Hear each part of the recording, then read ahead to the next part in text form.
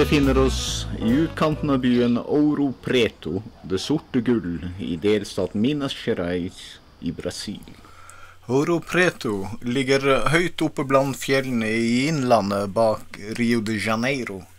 Og gjennomsnittshøyden for byen ligger på hele 1116 meter over havet. Den høyeste fjelltoppen i nærheten når helt opp til over 1700 meter. Byen ble grunnlagt på slutten av det 17. århundre av de portugisiske koloniherrene. I dag har den ca. 66 000 innbyggere, men på det meste var den Sør-Amerikas største by med over 100 000 innbyggere, og den var også hovedstaden i delstaten Minas Gerais.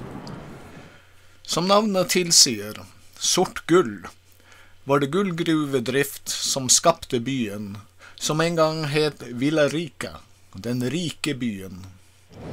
Selv om turistindustrien dominerer i dag, så er gruvedrift fremdeles en viktig inntektskilde, selv om det nå dreier seg mer om jern, mangan og bauksitt enn om gull, som hører historien til. Byen var det første stedet i Brasil som kom på Unescos verdensarvsliste pga. den velbevarte barokkarkitekturen.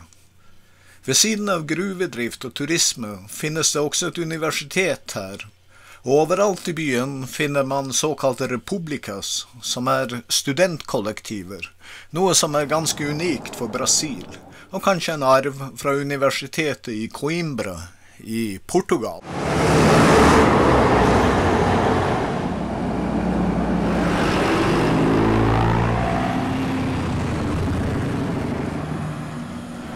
Og hvordan kommer man seg så til byen? Med buss, så klart. Det går busser fra Belo Horizonte, fra Sao Paulo og fra Rio de Janeiro. Og alle bussene kommer til Rodoviaria busstasjon i Ouro Preto. Og hit kommer også andre utslitte transportmidler.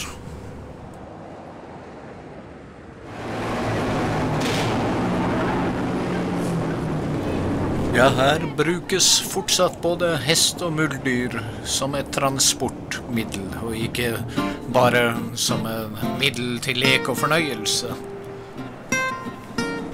Og det finnes også tøffe gauchos som heller ikke bryr seg om å bruke sal.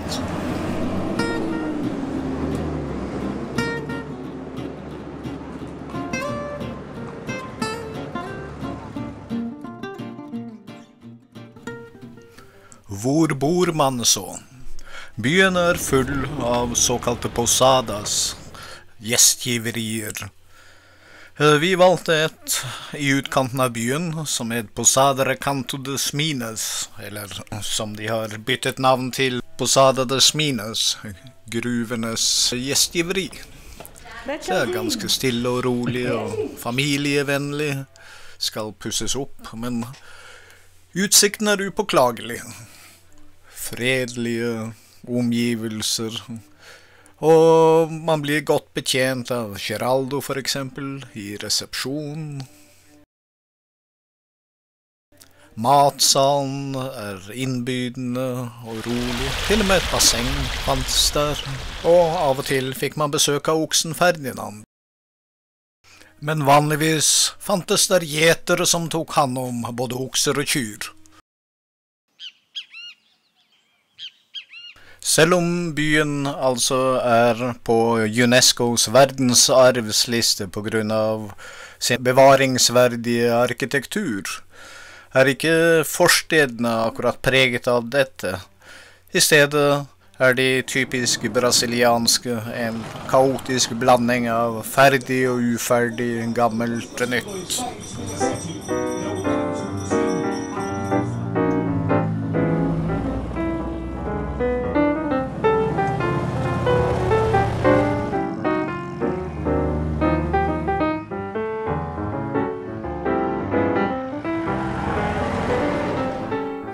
En ting som det lønner seg å ta med i beregningen, er at alle gater er brosteinsbelagte. Og brosteinen er ikke akkurat av den moderne typen jevn og behagelig å gå på, tvert om. Mine sko var ikke de beste for formålet, og det fikk jeg sannelig føle.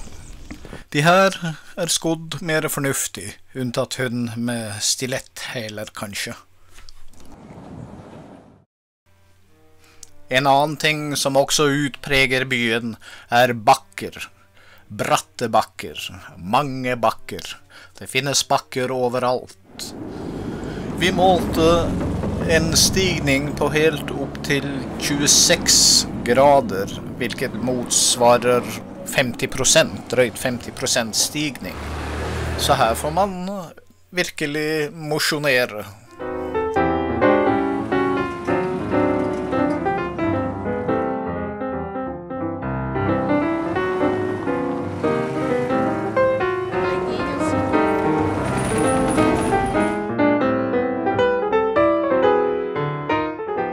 Hva kan man så se og oppleve og gjøre i Ouro Preto?